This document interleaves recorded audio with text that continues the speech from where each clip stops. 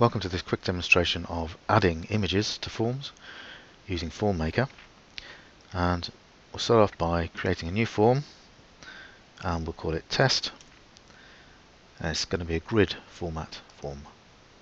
So there we are, it's created our form.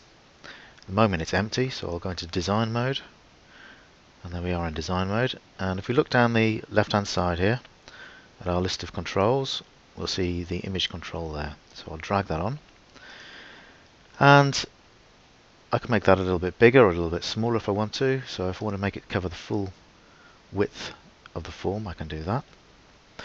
So that's our default little image that comes up just to show us where the control is. I click on it.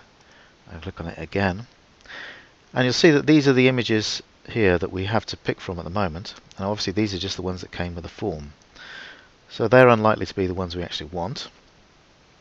So to add our own images to the bank of images we can pick from, we use this little plus button here. So press, please, no, so press the button to add a new item. There we are. So we press that button there, and it uh, it goes into our library. This is the iOS photo library, where we can pick an image, such as this one here. This is a standard one that came with iOS, and I could go to the camera roll, select a different image there. So now I've added two of my own images here. And I can just pick one of those. You can see the little red uh, line around that image. That's the one that's currently selected. I can move it to here if I want to. So I could pick that image. So if I now press the tick to say yes, that's what I want to do.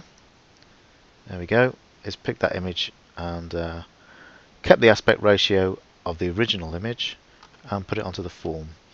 So now when I run that form, there we go, there's the image.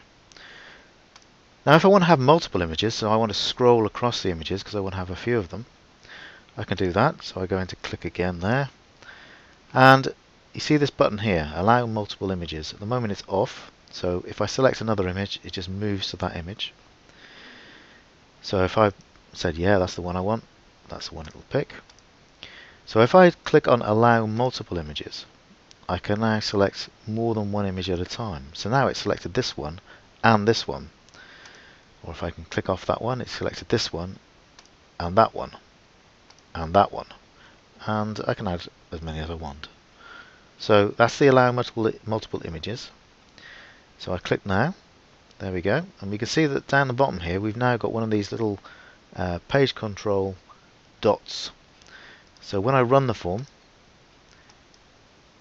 that'll move that little scroller page control across.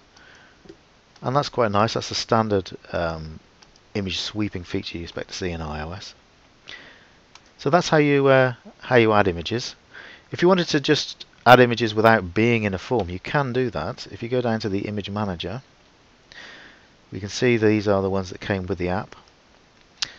Uh, and see image added 19, image added 18. Those are the ones I added myself just a, a moment ago. Um, and I can change the names of those just for my own reference. So I could uh, call this one um, iOS uh, leaf. That's fine.